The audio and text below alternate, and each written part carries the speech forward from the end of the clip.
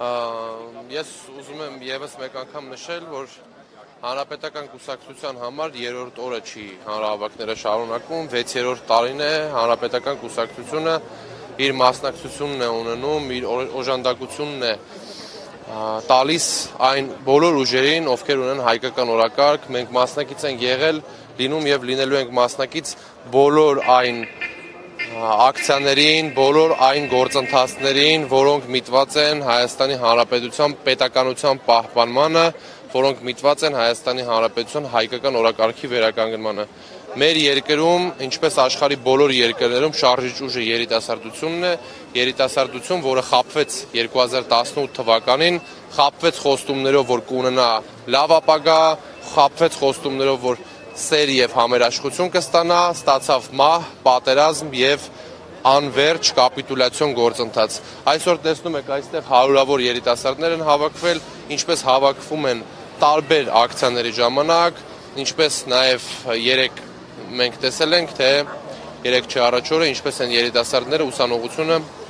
միացել այս պայքարին։ Ես վստահ եմ, որ այս վախի եւ կեղծիքի մտնոլորտը, որ սերմանել է այսօրվա իշխանությունը, իշխանությունը հոդս է ցնդելու երիտասարդների ցածումով, ցածում, որը չի կարող իրեն երկար սпасացնել տալ, որովհետեւ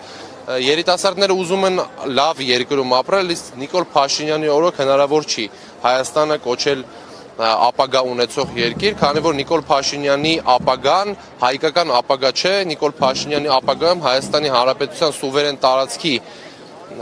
մշտական հազարամյա Հայաստանի Հանրապետությանը պատկանող հողերը Նիկոլ Փաշինյանի համար պատմական հայրենիք են անգամ հայրենիք էլ չեն, այլ պատմության պատմության ժամանակահատվածում ինչ որ մի ժամանակ եղած հայկական հողեր են, որոնք նա պատրաստվում է այսօր հանձնել Ալիևին եւ Ալիևը 3 եւ 3 չառաջորը եւս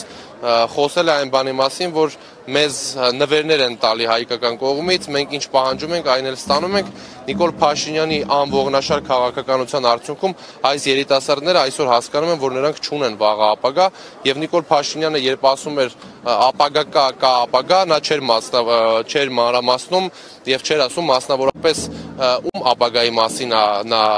այդպես վստահ խոսում հայկական ապագայի թե թուրքական, թուրք-ադրբեջանական տանդեմի ապագայի մասին։ Մենք այսօր այստեղ ենք ասելով, որ մենք չենք հանձնվելու, եղել ենք կանք եւ լինելու ենք բոլոր այն պայքարների խրամատում, որը պահում է հայոց պետականությունը։